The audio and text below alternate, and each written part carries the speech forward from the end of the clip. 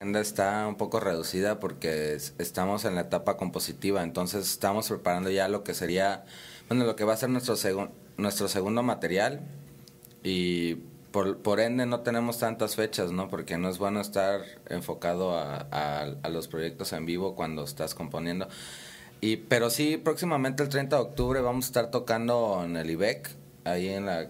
En, bueno, en el Instituto Veracruzano de Cultura. Este, va a ser un tributo a Agustín Lara, ahí por, están invitados, sábado 30 de octubre, y de ahí vamos a hacer un, pues como que una presentación ya para, ¿eh? a partir de las 6 de la tarde. Muy bien. Este, en la, yo creo que va a ser en la sala magna, sala principal, no me acuerdo cómo le dicen. Pero este, también el 20 de noviembre vamos a tener ahora sí el último, lo que sería el último, uno de los últimos shows de este año, este, con varias bandas locales. Eh, yo creo que va a ser en un lugar que se llama la Liga Generacional. Va a ser abierto para todo el público y totalmente gratuito ambos eventos. Entonces pueden entrar al MySpace, como decía aquí mi amigo Luis, o al Facebook, como decía Pibi y este ahí pueden ahí pueden este encontrar las fechas y si nos quieren seguir este pues a cada momento a cada instante hasta cuando vamos al baño pueden seguirnos en el Twitter este como decía aquí el Felipín pues más que nada eso muy bien yo cuando estuve em, en, en su MySpace buscando información de ustedes y escuchando las canciones, me llamó mucho la atención, en especial una de las canciones que tienen ahí, que se llama Yunky Wonka. ¿Cómo nace Yunky Wonka? Eh, Yunky Wonka es una canción que ahora sí como decimos en el acá en, el argot surfer. Ah, este no, no es cierto. Este es, es una canción para tirar mucho relajo, habla sobre una sobre todo sobre la persona que todos llevamos dentro que cuando ingerimos algo en exceso sale a flote, ¿no? Entonces somos el alma de la fiesta, nos creemos multilingües, o sea, hacemos de todo, ¿no? Y ese es Junkie Wonka, ¿no? Yo creo que todos tenemos ese pequeño este diablillo ahí escondido. Entonces, más o menos sobre eso trata. Es una canción totalmente para tirar relajo, ¿no? Que por ah, perdón, disculpa que interrumpa, que por cierto, gracias a esa canción se generó un, un disturbio totalmente extremo en un concierto en la playa que donde la gente empezó a destruir todo. o sea, gracias a la canción se pusieron pues yo creo que pues, fue la motivación, la motivación. la motivación de eso y más muchas cosas que traía la gente encima, pues yo creo que eso. Muy bien, Trejo, te adelantaste a mi siguiente pregunta que era en quién se basaron, pero entonces el concepto de Yonky Wonka es todo, todo lo, lo, que tenemos dentro después de beber algo o cómo? Pues más que nada es lo que es cuando te excedes en en ciertas cosas, yo creo que te es, es lo que lo que sale de ti. Muy bien, bueno recuerden chicos, estamos en Roco Loco, vamos a dar los números en cabina que es para que manden su mensaje, ponen la palabra Roco y después su mensaje al 2291 451048 y pongan la palabra Roco para que por favor no me confunda.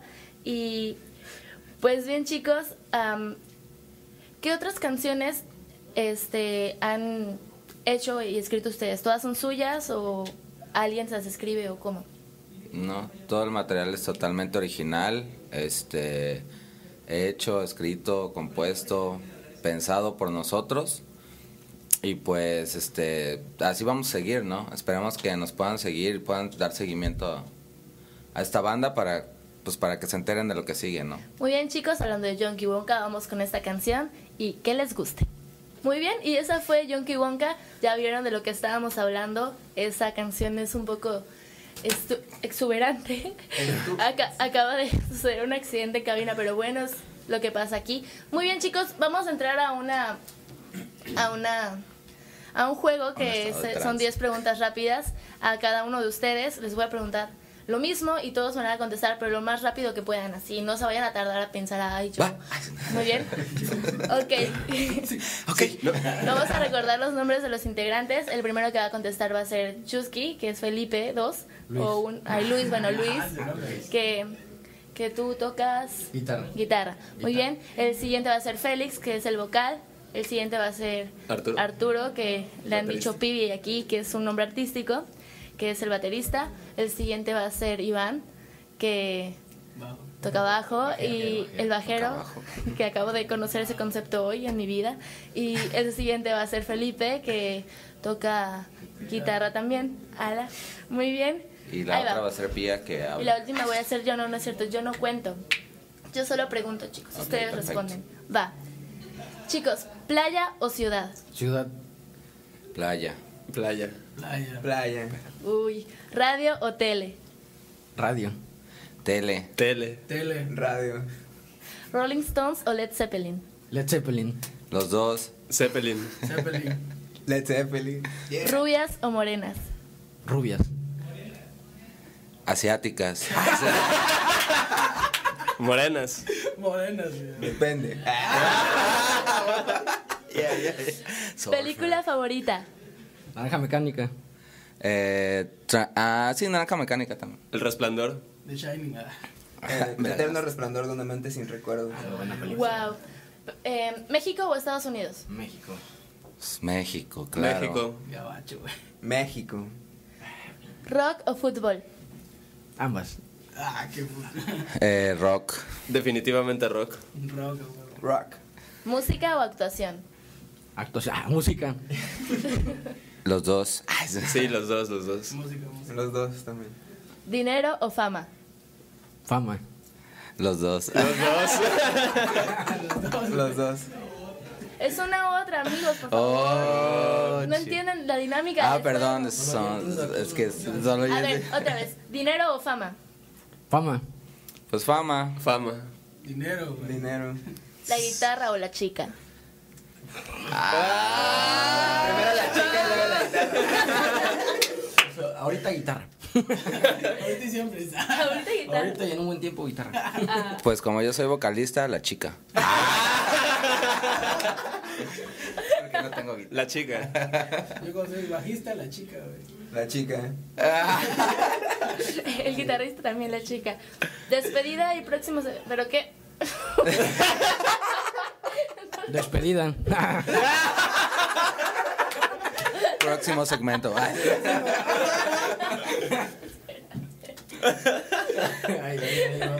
Lleva dos caguamas. Sí, ya van dos caguamas, ¿eh? Es que bombilla. ¿Caguama o etiqueta roja? Etiqueta. Etiqueta. Caguama. Caguama. Caguama. ¿Blanco o negro? Ay. Eso ya no está. Este, ambos. Ah, no tiene que ser uno, no, este, negro. Negro. Blanco. Blanco. Eso ya no está saliendo, sí. No, sí. bueno, chicos, fue un gusto estar con ustedes. Em, eh, los vamos a ver el 30 de octubre en el IBEC. Y pues esperamos estar mucho en contacto, Rocoloco, con ustedes. Yo soy Pia García, estuvimos con los slogans y vamos a mandar a la canción Habitación Azul. Recorda- recordamos... Esa Habitación de luz. Ah, perdón. Aclarando. Aclarando que es habitación de luz, muy bien, perdónenme, estoy un poco desvelada. Vamos a mandar a habitación de luz. El MySpace de la, de la banda, por favor, la vuelven a repetir para saber dónde contactarlos. www.myspace.com diagonal los logos. Muy bien. Y pues chicos, los esperamos en la próxima sección de Rocoloco. Nos vemos luego y que les guste. Roco loco. ¡Woo!